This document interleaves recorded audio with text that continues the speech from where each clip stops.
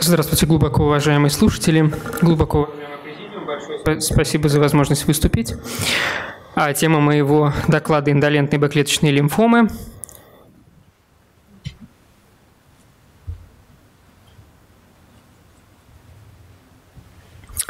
А, безусловно, это то, о чем можно говорить целую вечность. Я постараюсь сконцентрироваться на основных каких-то э, моментах, которые, может быть, наибольшим образом изменились в последнее время. Ну, немножко напомним историю вообще классификации лимфом. А, первая классификация вышла в 1956 году. Это классификация Рапопорта. Она возникла, когда мы еще ничего не знали о том, что вообще лимфоциты делятся на Т и Б клетки. Ну, приходилось как-то морфологически классифицировать опухоль, с которой мы имеем дело. Основным классификатором был, конечно, размер опухолевых лимфоцитов. Те, которые опухоли были из малых лимфоцитов, как правило, вели себя более индолентно, более пациенты имели лучший прогноз. Те э, лимфомы, где клетки были крупнее, как правило, у этих пациентов прогноз был хуже, лимфомы вели себя агрессивнее. Сейчас мы, конечно, знаем, что далеко не всегда это так, но это было уже что-то. И вот на основе этой классификации возникла потом классификация ФИП несколько позднее – а затем, конечно, произошел рывок. Мы узнали, что лимфоциты бывают Т и Б клетками, и мы смогли эти два классификатора наложить друг на друга. То есть это морфология клеток, цитология их а, и иммунофенотип опухолевых клеток. А, ну, кроме э, линейных маркеров Т и Б клеточных появились еще многие другие иммуногистохимические маркеры, которые мы стали использовать. И вот возникло две классификации Люкс и Коллинз и Карла Ленарта, которые, в принципе, похожи друг на друга. Но у Карла Ленарта еще отражалась гистархитектоника опухоли, а, пусть даже она не такая богатая, как в солидных других опухолях из эпителиальных тканей. А, ну и кроме того, были некоторые терминологические изменения, было введено понятие центроцит. И, в общем, это довольно долго существовала эта классификация, использовалась активно в практике, потом была обновлена в 1988 году. Ну вот вы еще видите, что была классификация, так называемая э, рабочая формулировка, которая несколько отличалась по своей структуре. Там были лимфомы из смешанно-клеточной, из крупных мелких клеток. Это, в общем, не отражало биологию опухоли и ее поведение, поэтому это было подвергнуто критике. Ну и затем, конечно, у нас кроме э, иммуногистохимических, ну или вообще иммунофенотипических данных, и кроме морфологии, кроме клиники, еще накопились активно генетическая какая-то информация об опухоли, спектр мутаций, цитогенетика. Понятно, что все э, мы это стали увязывать со временем с прогнозом тех или иных пациентов, и это нашло отражение в классификации. Возникла классификация REAL, совместная европейско-американская классификация лимфом, а, и на ее основе возникла первая классификация ВОЗ опухолей э, Э, лимфоидной ткани. Это было в составе третьего издания книг «Опухоли человека ВОЗ» в 2001 году. Затем был пересмотр в 2008 году. Это уже четвертое издание. И сейчас, в настоящий момент, мы имеем дело с пересмотром четвертого издания классификации. Ну вот это направление нашего развития, то, о, о чем уже сказал подробно Вадим Валентинович, куда мы двигаемся, это молекулярная биология. Вот наша задача, с одной стороны, не запутаться как-то а, в этом лесу из многочисленных молекул, а, белков и их генов, которые их кодируют, а, понять, какое они имеют значение, какие мутации имеют ключевое значение для развития той или иной нозологии, какие являются мутациями пассажирами, и как-то еще научиться это более-менее эффективно и быстро использовать в рутинной практике. С одной стороны, это, в общем, наверное, наверное, недостатки классификации. Кроме того, как э, выясняется со временем, далеко не все молекулы, которые нам сначала кажутся специфичными или там, высокочувствительными, потом не всегда оправдывают наши ожидания. Но есть, конечно, у этого и большие плюсы, потому что это позволяет решить некоторые проблемы, которые мы на исключительно морфологическом уровне решить не могли, и сделать нашу терапию затем более индивидуализированной и таргетированной у этих пациентов. Ну, теперь остановимся в отдельности на именно индолентных лимфомах. И я скажу сразу, что это, безусловно, э, такой классификатор очень условный. То есть индолентные лимфомы – это, как правило, лимфомы с более благоприятным прогнозом, опять же, относительно каких лимфом? Относительно агрессивных. Это все очень условно. Одни могут трансформироваться, безусловно, в другие. И, как правило, морфология этих опухолевых лимфоцитов, они, как правило, мелкие. Ну вот, э, если говорить о хроническом лимфоликозе, пожалуй, такое самая частая, э, самая частая нозология в этом разделе – вот изменения, которые произошли в последнем пересмотре классификации, они касаются процесса лимфомогенеза, то есть э, поиска предшественника для хронического лимфоликоза. Это так называемый моноклональный Б-клеточный лимфоцитоз. В общем, он был выделен в предыдущей уже классификации, однако произошли изменения, его разделили на два подтипа относительно уровня циркулирующих в периферической крови моноклональных Б-лимфоцитов. И вот тут э, вариант моноклонального Б-клеточного лимфоцитоза, где лимфоцитов много, вот как вы видите, больше порогового значения, у него была достоверно обнаружена взаимосвязь действительно с хроническим лимфоликозом. А, то есть это общий спектр мутаций и профиль экспрессии микро-РНК. А, также возникло и другое подразделение а, моноклонального бэклеточного лимфоцитоза по его иммунофенотипу, который а, определяется в ходе проточной цитофлюориметрии. Есть так называемые два подвида. Это ХЛЛ-подобный фенотип и ХЛЛ-неподобный фенотип. В общем, это имеет какое значение? Дело в том, что случаи моноклонального бэклеточного лимфоцитоза с иммунофенотипом, который не похож на иммунофенотип хронического лимфоликоза, могут трансформироваться в другие лимфомы индолентные. Например, э, в лимфому маргинальной зоны, вот самая, пожалуй, такая частая или, может быть, просто наиболее такое отчетливое наблюдение, которое было сделано в последние годы, это лимфома маргинальной зоны селезенки. Э, безусловно, и для других лимфом, конечно, выделяют вот такие же состояния с циркуляцией моноклональных лимфоцитов. Это и фолликулярная лимфома, и лимфома из клеток зоны мантии. А, ну и кроме того, для, если говорить непосредственно о самом лейкозе, вот было некоторое уточнение, когда мы ставим, наконец, диагноз лейкоз, это когда у нас достигнут порог а, более 5 на 10 9 в литре циркулирующих моноклональных Б-лимфоцитов. Вне зависимости от наличия клинических симптомов. То есть та же самая анемия может быть и при моноклональном бэклеточном лимфоцитозе. Эти клетки вытесняют, а, соответственно, предшественники эритроцитов. Однако диагноз ХЛЛ мы ставим только вот при условии этого порогового значения. Ну, понятно, лимфома из малых лимфоцитов, которая, безусловно, очень связана с ХЛЛ. В общем, фактически одно и то же заболевание. Для нее тоже были выделены отдельные неблагоприятные прогностические факторы. Как вы видите, это центр пролиферации, состоящий из иммунобластов крупного размера. Это индекс пролиферации Ки-67, больше 40%. Экспрессия белков семейства МИК, вот мутации перечисленных генов. А, ну, вот два, пожалуй, хороших таких маркера, которые можно довольно рутинно иммуногистохимически использовать. Это ЗАП-70 и CD38. А, и, в общем, э, ZAP-70 даже эм, его экспрессия, в принципе, может считаться суррогатным маркером э, ХЛЛ из лимфоцитов, в которых не прошла гипермутация в э, цепях иммуноглобулинов, и, соответственно, он имеет более худший прогноз, то есть это менее дифференцированный пул лимфоцитов. Ну и вот, как вы видите, действительно главный э, фактор прогноза – это, собственно, статус мутации вот этих генов. А, ну, теперь перейдем к пролимфоцитарному бэклеточному лейкозу. В общем, изменения произошли как бы несущественные, их особенно нет, но тут актуальным вопросом диагностики является то, что и морфология похожа у этого лейкоза на предыдущий э, лейкоз. И, в общем-то, иммунофенотип тоже похож. Различия не очень существенные. Это вот меньшая экспрессия CD23, CD5.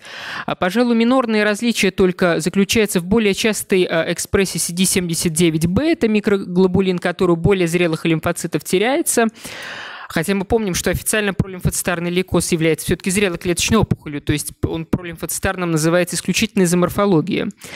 Вот. Ну и кроме того, ФМЦ7, как правило, э, здесь позитивный чаще, чем в хроническом лимфолейкозе. Это, конечно, всегда лейкоз, в отличие от предыдущей нозологии, которая может преимущественно э, выглядеть как лимфома с преобладанием поражения в лимфоузлах.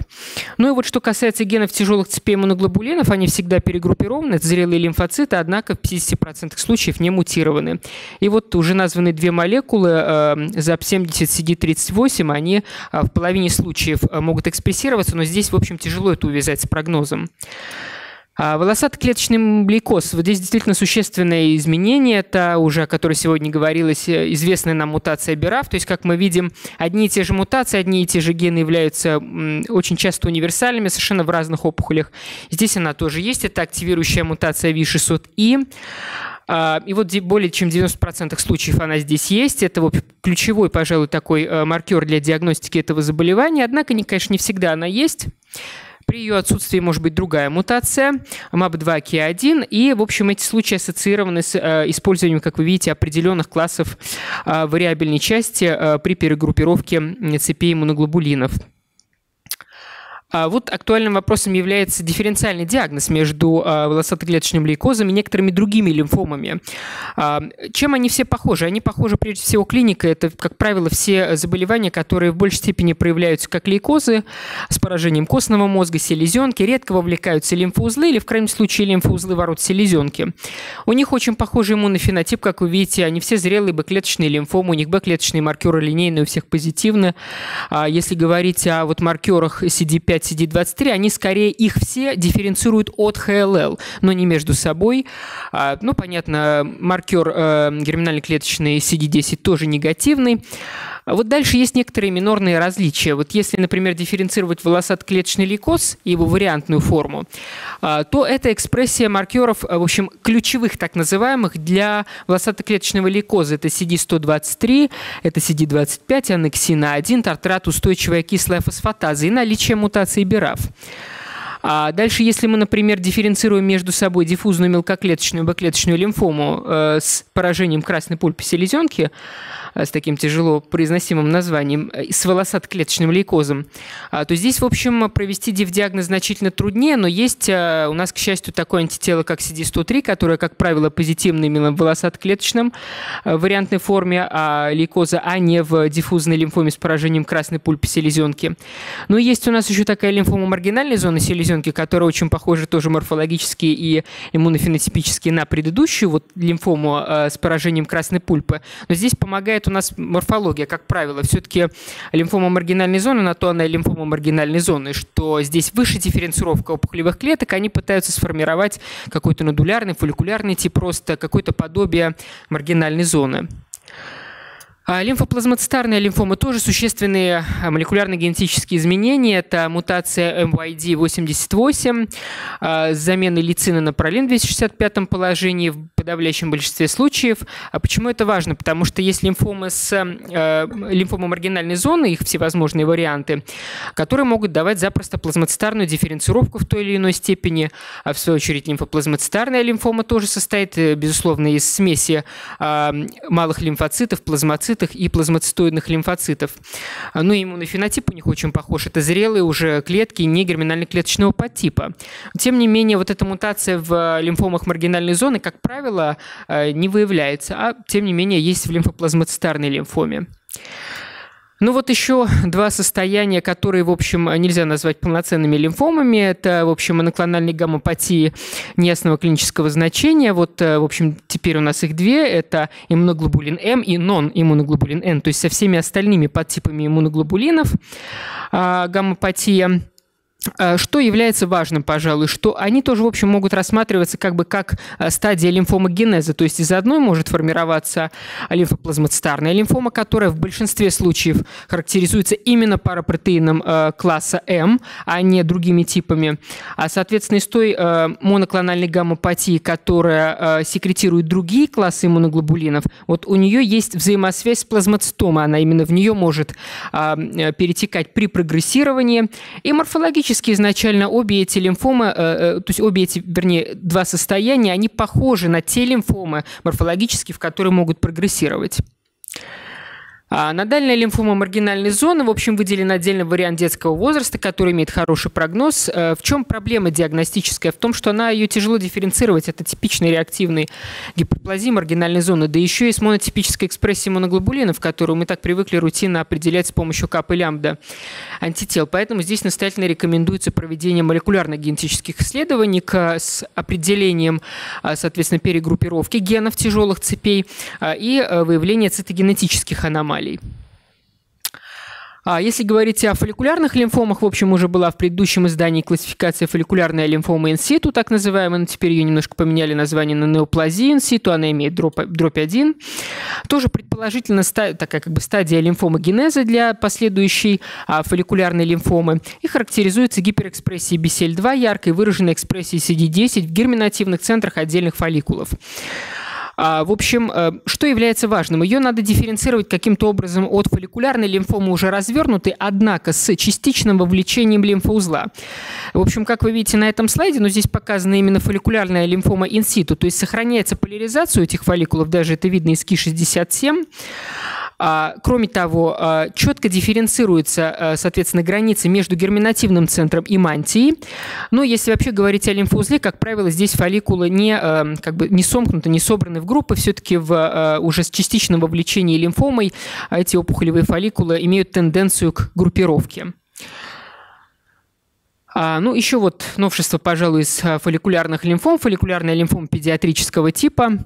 А, в общем, ее с точки зрения морфологии чистой, вспомним предыдущие да, варианты классификации, когда мы только основывались на морфологии, ее трудно, наверное, назвать индолентной. Вот она имеет такую крупную морфологию ядер опухолевых клеток, такой бластоидный вид специфический. Ну и кроме того, у нее отсутствует гиперэкспрессия BCL2, и, то есть это нетипичный вариант с точки зрения иммуногистохимии. У нее другая, эм, в общем, другой спектр мутаций, то есть тут ниже вообще количество мутантных генов, ниже копийность мутаций, а, указанных на слайде. А, и у нее более благоприятное поведение по сравнению с классической фолликулярной лимфомой.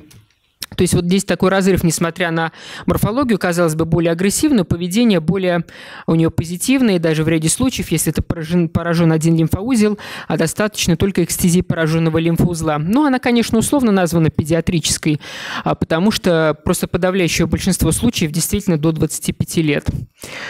Ну, напомним, что есть еще другие фолликулярные лимфомы, тоже BCL2 негативные. Это, в общем, не редкость. Есть э, лимфомы с поражением яичка, фолликулярные лимфомы из клеток фолликулярного центра с поражением кожи, тоже BCL2 негативные. Тоже об этом стоит помнить, что не все так типично, как хотелось бы.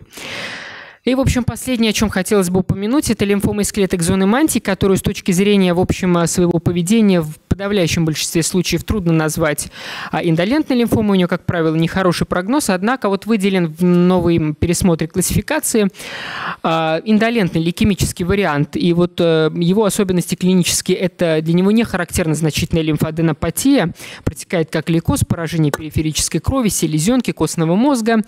А, опухолевые лимфоциты, как правило, мелкие, не всегда экспрессируют, э, в общем, такой конститутивный маркер CD5 для лимфомы из клеток зоны мантии. Не экспрессируют экспрессируют СОКС-11, однако в подавляющем большинстве случаев являются все-таки циклин D1 позитивными, что нам э, как-то хоть упрощает диагностику.